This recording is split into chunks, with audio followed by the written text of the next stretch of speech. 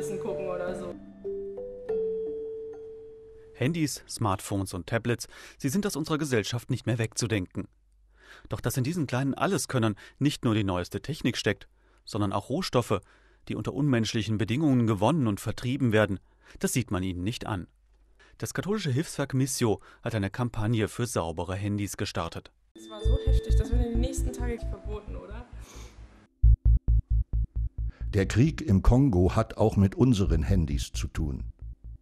Es geht um Bodenschätze und Mineralien, die für die Herstellung von Mobiltelefonen benötigt werden.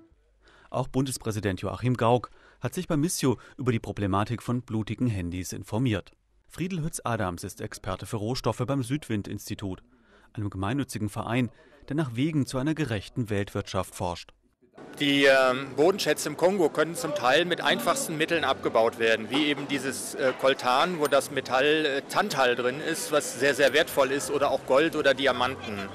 Und ähm, Rebellengruppen können dann hingehen und weder direkt Minen übernehmen oder ihnen die Dinge auch abnehmen. Und dann werden die Mineralien über die Grenze transportiert mit Kleinflugzeugen oder auch mit LKWs und von da aus auf den Weltmarkt geliefert.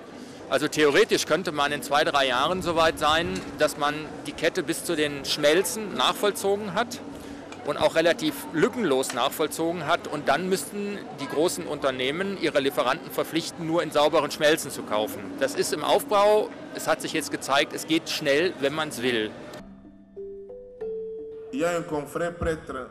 Pfarrer Justin ist Direktor von Justice and Peace in Bukavu. Er hat mit seinem Team ein Netz von Traumazentren im Osten des Kongo aufgebaut.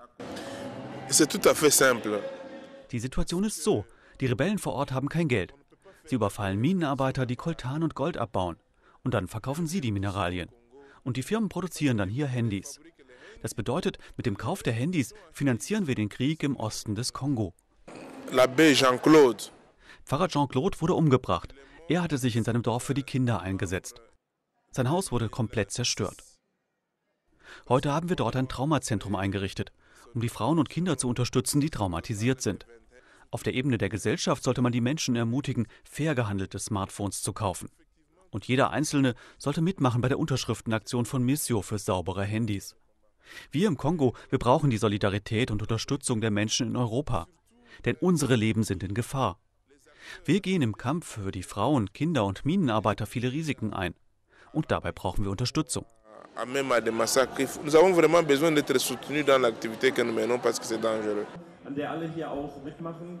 Mission-Mitarbeiter Jörg Nowak hat im Kongo viele Opfer brutaler Gewalt persönlich getroffen. Ich bin vor einigen Wochen in den Kongo geflogen und habe dort MISO-Projektpartner besucht, die sich in den Traumazentren um die Frauen, Männer und Kinder kümmern, die unter dem Krieg leiden. Und habe dort unter anderem zwei Frauen getroffen, die berichteten, dass sie von Rebellen entführt wurden, brutal vergewaltigt wurden und in den Gold- und Koltanminen äh, schuften mussten. Sie erzählten, dass in etwa alle zwei äh, bis drei Wochen Helikopter dort gelandet sind in den, Re äh, in den Rebellengebiet, in dem Rebellencamp, haben Waffen abgeliefert und Lebensmittel und haben dann ähm, Gold und Koltan mitgenommen. Diese niederländische Initiative, die sich Fairphone nennt, die haben ja binnen zwei Jahren als eine ganz kleine Gruppe von zwölf Leuten angefangen und haben gezeigt, dass man binnen zwei Jahren zu einem deutlich saubereren kommt. Wenn ich mir also jetzt vorstelle, dass die Industrie Geld in die Hand nimmt, dann sollten sie in zwei Jahren so weit sein, dass sie es ausschließen können. Da ist nun die Mobilfunkindustrie gefragt. Doch auch viele Netzbetreiber wollen sich mehr engagieren. Cornelia Schischkowitz ist Leiterin der Abteilung Nachhaltigkeit bei der Deutschen Telekom. Die Deutsche Telekom hat schon 2005 ein Coltan-Statement veröffentlicht. Das steht immer noch auf der Website. Und wir verpflichten unsere Lieferanten, keine Rohstoffe aus Konfliktgebieten zu verwenden. Das ist das eine. Das andere ist mit dem Aufbau der Conflict-Free Smelter Initiative, also Schmelzen, die konfliktfreies Material verwenden und zertifiziert sind, ist das jetzt auch leichter möglich, das nachzuvollziehen. Und wir unterstützen diese Initiativen. Fairphone überlegt noch, ob mit der Telekom das für Sie interessant ist als Vertriebspartner. Wir überlegen auch. Wir sind in Gesprächen und ich denke, es wird frühestens mit dem nächsten Fairphone, das Fairphone 2.0, das im nächsten Jahr auf den Markt kommt und 200.000 Stück ungefähr Auflage sein soll, könnte es interessant werden. Dass jeder hier etwas tun kann, hat auch der katholische Deutsche Frauenbund im Bistum Regensburg mit seiner Unterschriftenaktion gezeigt. Dieser Scheck, also 10.000 Euro, haben wir gesammelt im Zeitraum März 2013 Bravo. bis Dezember 2013. Unsere Frauen waren sehr betroffen von dem Schicksal und wollten einfach helfen. Kann man irgendwas tun von hier aus, von Deutschland aus? Als wir von der Aktion Saubere Handys gehört haben, haben wir Unterschriften gesammelt und auch einen Spendenaufruf gestartet.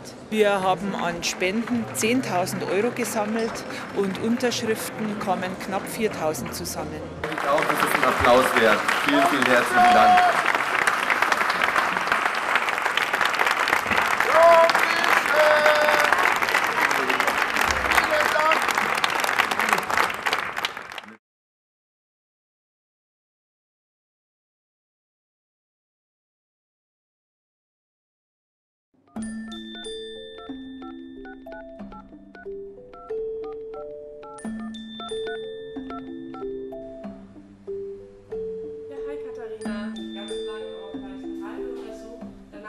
Einfach mal ein bisschen gucken oder so. Es war so heftig, das wird in den nächsten Tagen verboten, oder? Der Krieg im Kongo hat auch mit unseren Handys zu tun.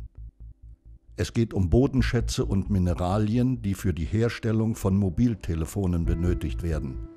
Keine Geschäfte mit Rebellen. Bitte unterstützen Sie unsere Arbeit.